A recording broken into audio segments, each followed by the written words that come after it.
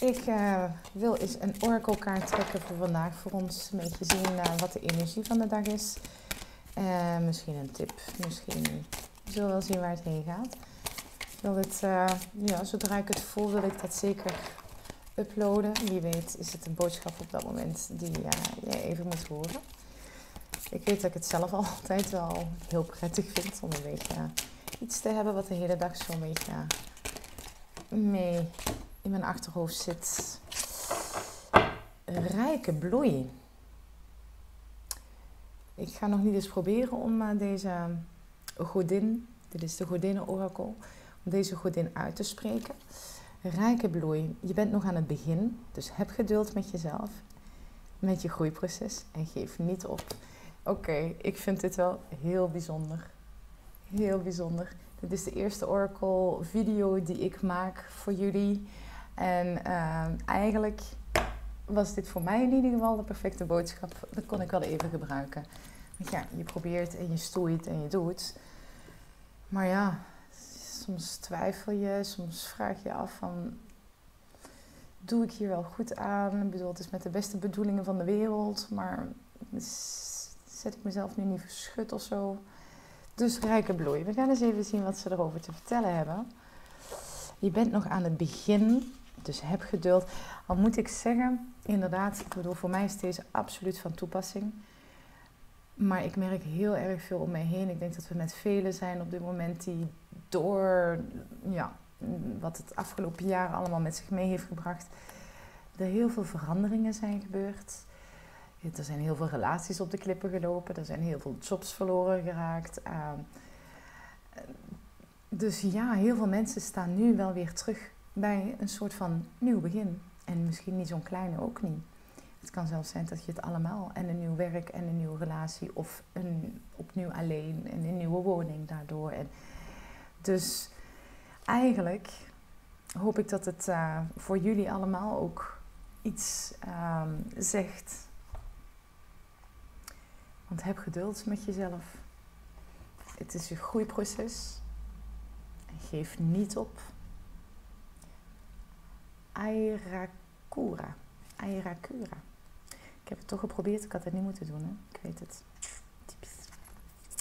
De boodschap van haar. In menig gezicht ben je als een rijke bloemkop die op openspringen staat.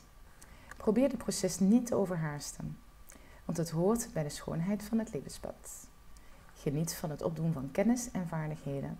Neem de tijd om nieuwe ideeën op te doen Zorg goed voor je lichaam met de frisse lucht, zonlicht als die er is, water en gezonde voeding.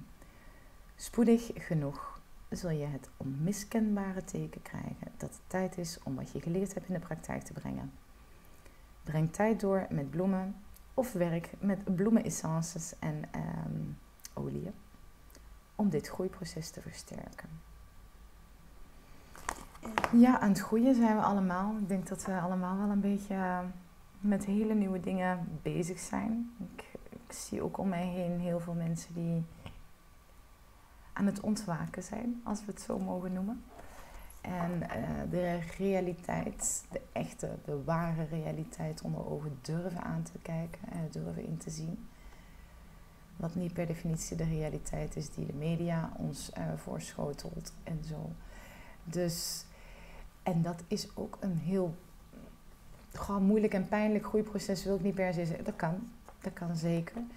Maar het is ook, het is gewoon een groeiproces. Het is, je moet jezelf opnieuw heruitvinden. Ik op het moment dat jij ontwaakt en doorhebt hoe het leven echt in elkaar steekt. Of hoe deze wereld in elkaar steekt. Ja, dan verandert er wel heel veel. Het is een beetje alsof de, de grond onder je voeten vandaan wordt gehaald. En, en nu? Nu moet je het opnieuw gaan bedenken. Nu moet je het opnieuw gaan uitvinden. Wie ben jij dan in dit geheel? Wie wil jij zijn in dit geheel? Oei, ik denk ook dat we beginnen te beseffen dat we er zelf ook over gaan, mogen gaan, kunnen gaan, moeten durven te gaan. Wij zijn de eigen crea creators, createurs van ons, van ons eigen bestaan. Ja, we hebben ons tot nu toe laten leiden door wat de maatschappij van ons vindt, door wat, wat er allemaal van ons verwacht wordt. Maar we beginnen in te zien dat dat niet per definitie de echte realiteit is. Dus wij gaan er zelf over. Dat geeft ook een bepaalde verantwoordelijkheid. Dat betekent dat we, ja, als ons iets overkomt, kunnen wij alleen maar op onszelf terugvallen en onszelf daarvoor aankijken en zeggen we ja, ja, eigen schuld. Dus het heeft ook, uh, ja, de verantwoordelijkheidsgevoel is ook niet even gemakkelijk. Maar het heeft zoveel positieve uh, gevolgen eigenlijk, omdat je, ja, je mag het vanaf nu zelf gaan bedenken.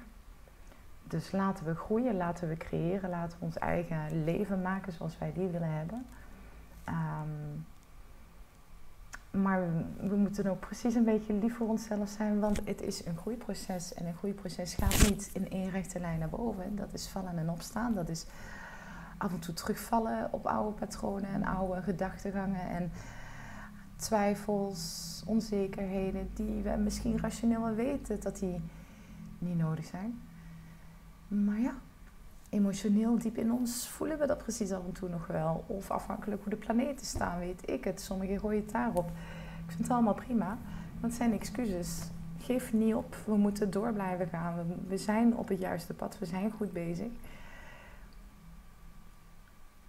En we gaan rijkelijk bloeien. Of we zijn zelfs rijkelijk aan het bloeien. Want zelfs in dat proces ben je ook al in bloei. Dat, de hele transformatie is aan zich al heel schoon. Want als je een, bloem, een knop open ziet gaan, is die niet pas mooi op het moment dat die open is. Ieder stukje is een heel mooi momentopname. Totdat die helemaal open staat. Ik vind het zelfs mooi als die verwelkt. Sommige, sommige niet allemaal. Maar, uh, dus ja, rijke bloei. Lief voor onszelf zijn. Geef niet op geduld met onszelf. En dan komt het allemaal goed. Ik vind het een fantastische boodschap voor deze dag in te gaan. Ik wens jullie een fantastische mooie dag toe. En ik zie jullie snel. Namaste.